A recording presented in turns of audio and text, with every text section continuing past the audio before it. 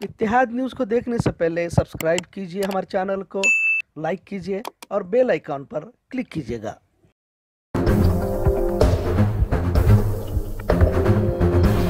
अस्सलाम वालेकुम रहमतुल्लाहि वबरकातुहू। इत्तेहाद न्यूज़ में आप सभी का खैर मकदम है।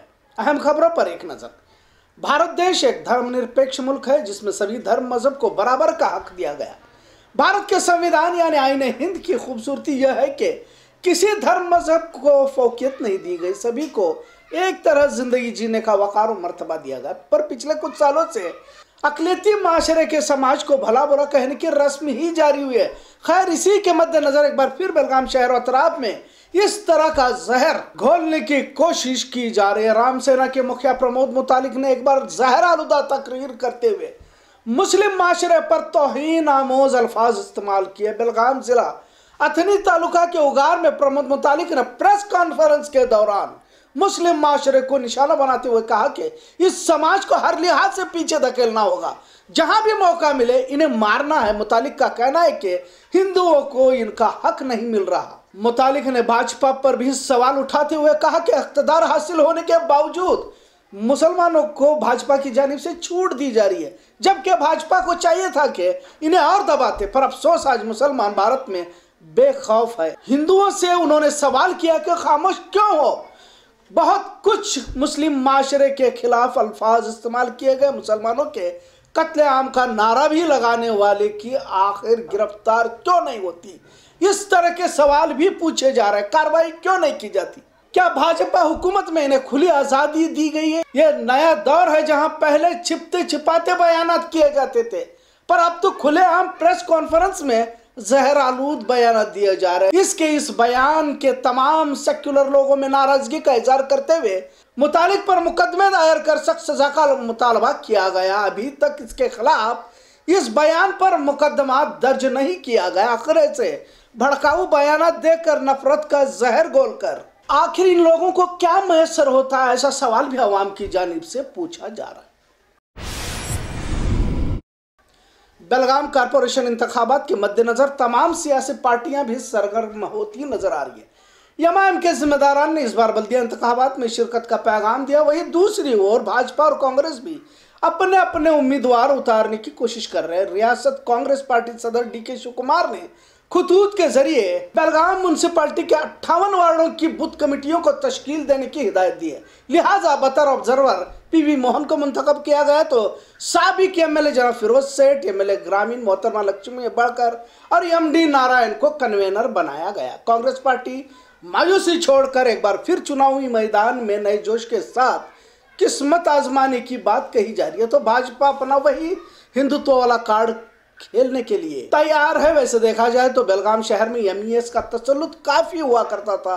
पर इस बार कारपोरेशन चुनाव पार्टी के परचम तले लड़ा जाएगा। महाराष्ट्र की करण समिति मुखालिफ तमाम पॉलिटिकल पार्टी इस तरह की तस्वीर सामने नज़र आ रही है। अपने उम्मीदवार समिति भी उतारने वाली है, पर लिहाजा चुनाव बड़ा दिलचस्प नज़र आ रहा है। बेलगाम कारपोरेशन पर आखिर किसका परचम लहराया जाएगा?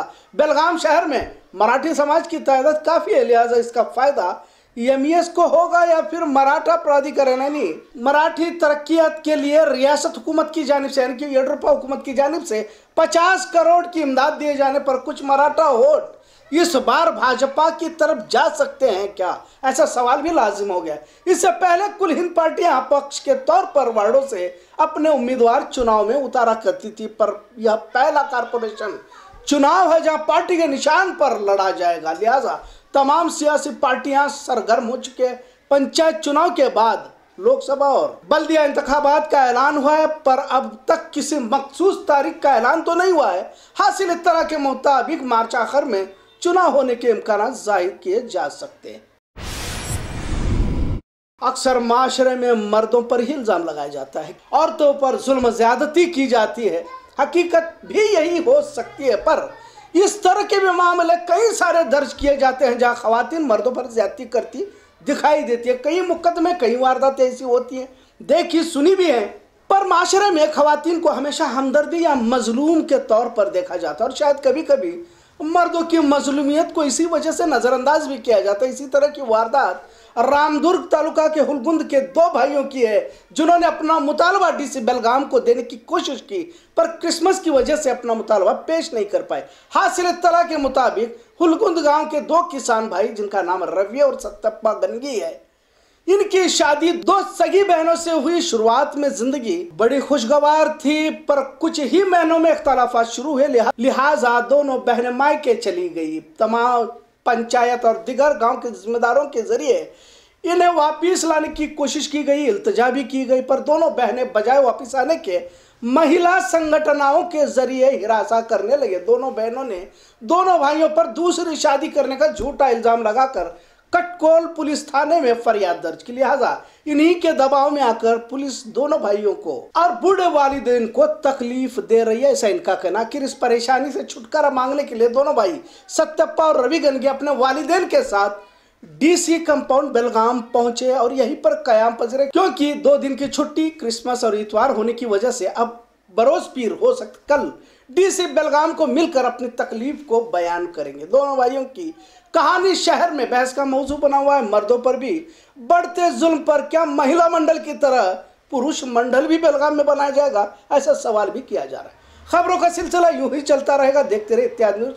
शुक्रिया। अल्लाह हाफिज़।